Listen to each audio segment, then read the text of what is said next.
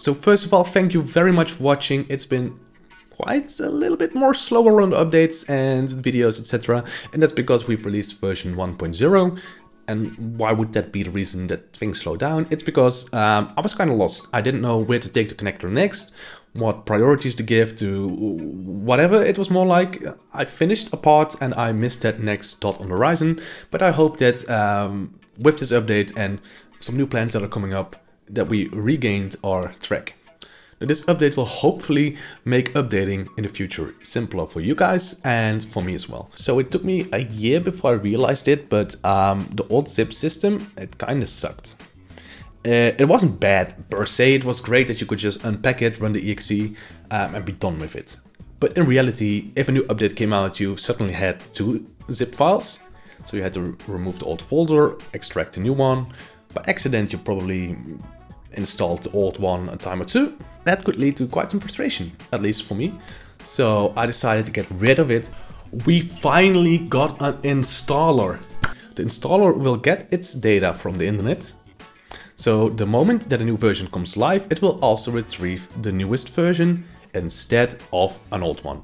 So hopefully that leads to less data loss, frustration, makes things easier you can now just run the maintenance tool to update. Um, you can start it from the application itself even. It will show that little blue button that says new update available.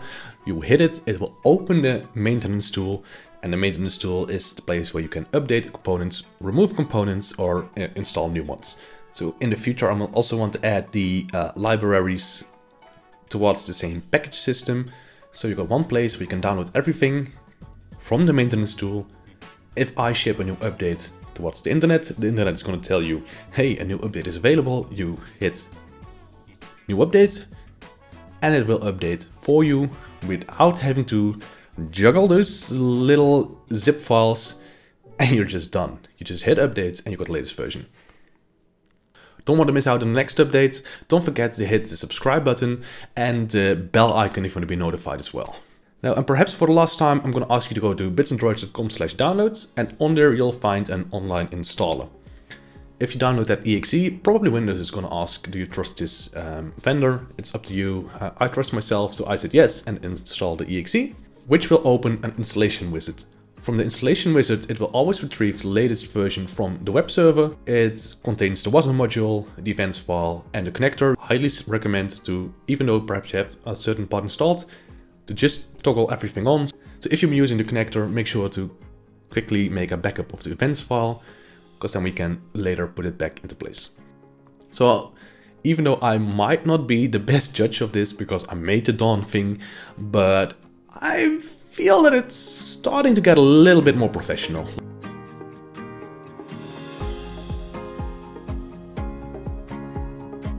Now, if you're new on board, welcome, and this will be the first screen that you're gonna see. But for those of you that have been around a little bit longer, are gonna miss something. There used to be an input mode, an output mode, and a dual mode. It's still there, so don't worry, but I wanted to give people that are just joining the club a more streamlined experience. One screen where you could add inputs, outputs, do both, without having to know, uh, without, without having to juggle with where do I connect the board that I want to? Is it an output? Is it a dual? Is it an input? It led to quite some confusion to those that haven't been following along since day one. If you've been following along, you're like, oh, well, Dave, you've told me this 1000 times. I completely understand how it worked and I like that experience. Just open the view menu where you'll find the button toggle advanced mode. If you toggle the advanced mode, you'll go back to the old version with the separate input, output and dual mode and you can use it just as before. Most home cockpit builders have several modules. One for the throttle, uh, perhaps one for uh, some kind of toggle. Some people have huge modules that can do 100 things, while others have more, you know, separate modules for each thing. One thing that really bothered me in the past is that if, now it would save the data that you used last. So it would remember which COM port was connected and which set you've used, and that was all fine. The downside is that the moment that your USB wasn't connected while the connector started, it would just revert to the first one it found. And then the next time you boot up, you replug the USB, you have to reset everything back to the proper COM ports, which was quite cumbersome in my opinion. So right now, if you unplug a USB device and you hit refresh, for instance, it will default to not connected. This basically means that you can just leave the settings there, replug the USB, hit refresh again, and it will reload your last saved setup. You can even start the connector when while you have a not connected line in there. It will just completely ignore that line, don't send any data to it, and doesn't listen to any data on it. If you notice a not connected line and you reconnect your USB, it does require you to manually stop and start the connector to resend or receive data from that replugged board.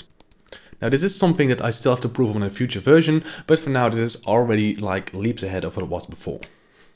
Now a thing I got asked a lot is the moment I load in my plane, it doesn't receive, let's say, the heading of the autopilot or the altitude, it will stay at zero or whatever default value you've set up. Now the problem was that it only sent data when it changed from your starting point. So if you start at one and you don't flip the switch, it will stay one and it wouldn't send data because one is equal to one, nothing happens. What happens now is it sends that first state the moment you hit start in the connector, the moment you load in a plane, so a new plane gets loaded in, it sometimes has different default values, that gets sent to your board and your board will be uh, more up to date and more up to speed with the latest variables. It's important to know though that this only happens with the outputs in your events file and not the default outputs that are in the connector. That is something that is coming later on. The events file was just easier to implement, um, so you can already utilize the features while I work on the default variables to do the same. Now we've got three default points where we send the data. It's the moment we start the flight, so it's completely loaded in, the moment we start the connector, and when the game starts, I believe. So I made a teeny tiny mistake in the event file um, while shooting this video, so that is why you see these 11,000 uh, something errors. So ignore that for now, but what I wanted to show you is that right now, if you receive data or it, you, it receives data, so yeah, if you receive data or you send data and the connector receives it, the logs will now properly show in the information tab instead of the error tab. So it doesn't confuse you like, oh my god, something's going wrong. I thought the only way to log something was the error messages, but I was wrong. I just kind of peeked at the fly-by-wire code and it, it was really simple. But it doesn't matter, uh, right now it will just show up in the information tab, showing you what you received and what it sends towards the connector. like I mentioned, this update doesn't really change that much on the game side, but it it are these little quality of life improvements that make using the connector a little bit more fun instead of a chore or a drag. If you got more suggestions or there are things in there that you're like, I have to do this every time and Dave, it really bothers me or there is something that you, a feature that you're missing that would make your life uh, easier as a home cockpit builder or just a flight sim lover or just a novice that's starting out creating their own hardware, let me know, hit me up on Discord, I'll put a link in the description and I'd love to hear from you how we can improve and I'd love to hear your suggestions uh, and feedback. So thank you very much for watching. If you haven't already, don't forget to hit that like button, hit the subscribe button, but most importantly, I hope to see you in the next one.